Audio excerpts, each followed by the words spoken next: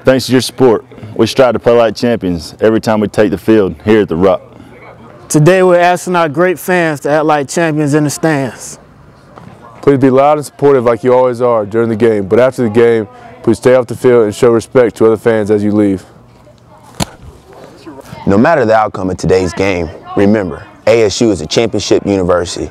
We're going to play like champions, so please act like champions.